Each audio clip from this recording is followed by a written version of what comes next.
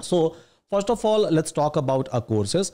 And before that, let's talk about Up Plus, Euron Plus. So just with this particular price, if you are from India, then 299 rupees per month, which you can cancel anytime, you will be able to access entire Euron platform Otherwise, you can go ahead with the yearly plan. You will be able to get a small discount. We are not giving much of discount because uh, we are already very much affordable and we are giving a lot. And obviously, we'll try to serve you in a better way instead of giving you a lot of discounts, right? So we always believe in serving in a better way, building a best so that you all will be able to get a best of best out of this entire ecosystem, this entire platform.